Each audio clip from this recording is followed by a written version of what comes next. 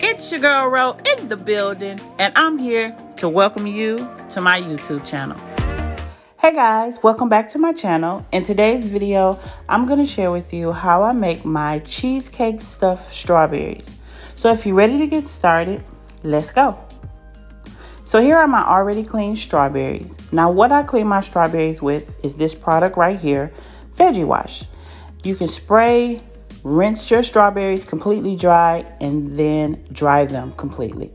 Then my Merckens chocolate, my golden Oreos, and some strawberry gelatin, along with some more ingredients that I'm going to have listed in the description box below. So check out the full recipe under this video. So let's get started. In a medium bowl, you want to add in your cream cheese, your powdered sugar. Now I'm using a French vanilla jello pudding. Then I'm adding in some, a little bit of sour cream. And then I'm adding in my flavor. Now you want to take your mixer and mix this completely until it's well combined.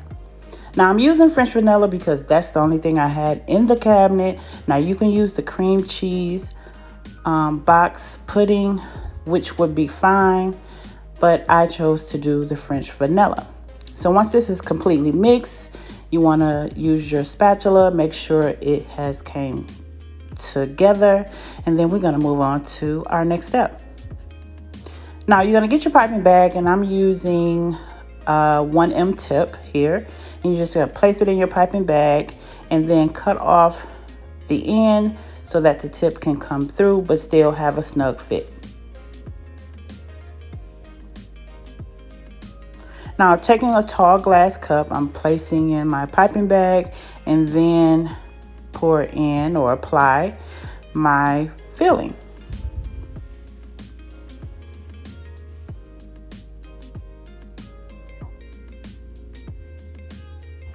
Now once you have that completed, you just want to sit this to the side and then begin to dip your strawberries.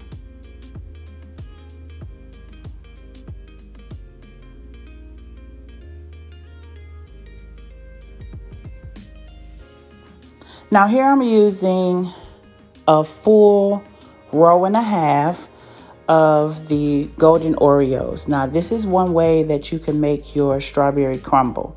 So here I'm adding in the Oreos and then I'm going to blend them, break them down with the whole cookie together. And you're just gonna bring it down to a nice fine crumble. Now they don't have to be this fine, but I like them this way. Now once you do that, apply your strawberry gelatin to the mix and blend that up together until it's well combined. Now I'm going to add in a half stick of softened butter, which is unsalted. And you want to mix that until all the butter has incorporated and the color has come in.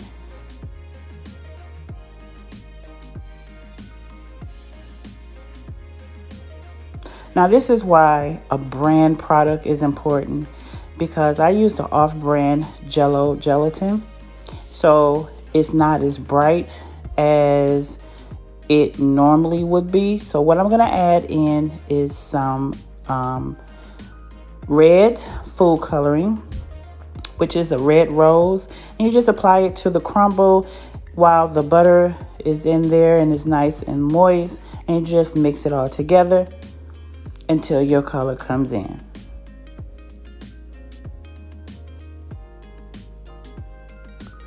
And as you see here, here's my color and I'm good with that. Now you're to take the other Oreos and you're to blend them down and this is going to be the golding part of your strawberry crumble.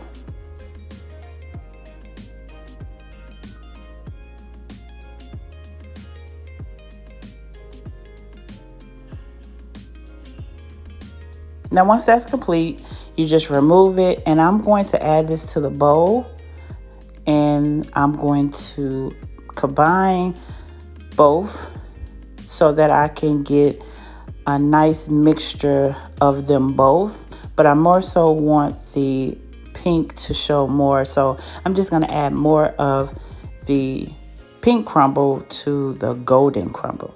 And then I'm going to mix this until my desired look has come complete. And then I'll be ready to use for dipping my strawberries. Now, once you have made this, you can just set it to the side and then start to work on your next process, which would be the strawberries. So you want to prep your strawberries ahead of time, put the sticks in them, place them on a baking sheet or a tray, whatever you like, but you want to prep them before you dip. Now let's melt our chocolate, our chocolate candy melts. I'm using Merckens. This is a two cup measure and I'm adding two tablespoons of Paramount Crystals and I melted the candy melts for 30 second intervals. I did two rounds of the 30 second intervals and you want to melt till it's nice and smooth and then you're ready to dip. Now you want to gather everything, bring it together. You want to mix up that crumble a little bit before you dip. And once you dip, drain or make sure all the extra chocolate has drained back into your cup and then you dip into your crumble. I'm getting tongue tied, y'all, but hey, I'm here to give you life. So here we go. So make sure you do not have any excess um, chocolate because it will drip back into that crumble and you don't want that. So make sure you drain off enough before you apply it to the crumble.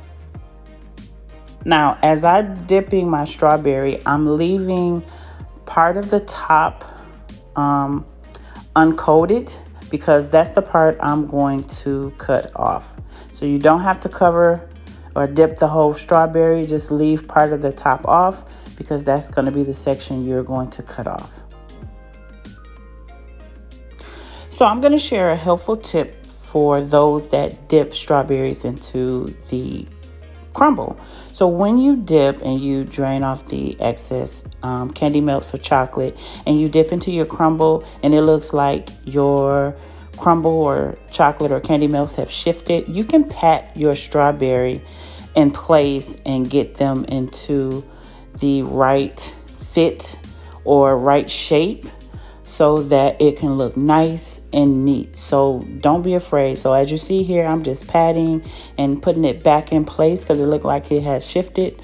Now that's a helpful tip for you guys so that all your strawberries can look um, neat and uniform. Now I'm just dipping some regular white strawberries and this is just going to be part of the decoration box and they are all set ready to be filled. All right moving right along. So here I'm going to be using some paper towel uh, paring knife and I'm going to be using a palette knife so as you see here I'm using a paper towel to hold the strawberry and then taking your um, paring knife and just cut off the top that's not covered. And then I'm going to do like a cross in between the strawberry and then a circle around the cross. And then I'm going to take my palette knife and dig out what I cut. So then I will have my hole to fill my cream cheese. Now this is just a simple way um, that I like to do. Nice technique, works fine, and strawberries are still intact. And we can go ahead and fill with our filling. Now, to keep your filling um, placed, if you want to add more, you can add more.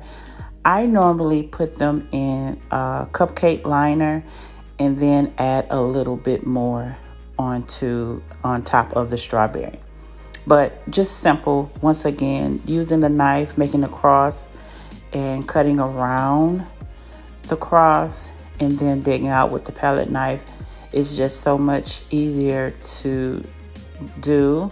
And also the paper towel just keeps your hand from messing up the strawberries. So great technique. Hope you guys will enjoy this technique because it's just simple and an easy way to do. So if you end up cutting off some of the chocolate, not too much, don't worry about it.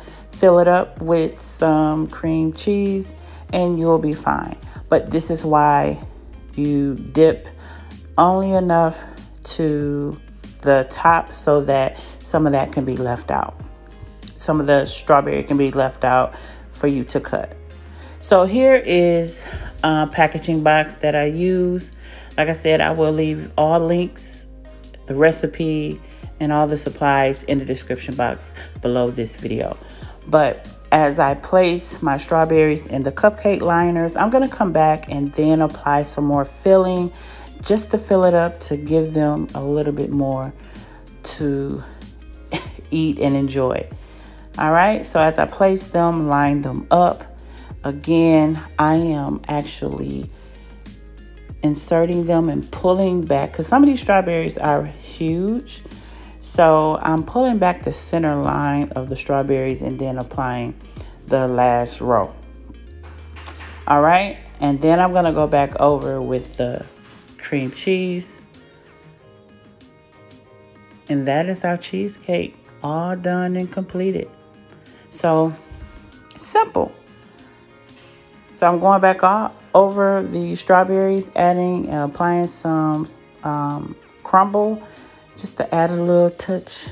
And there is our strawberries all done. So I hope you have enjoyed this video. Don't forget to like, comment, and subscribe to this channel for some more great videos.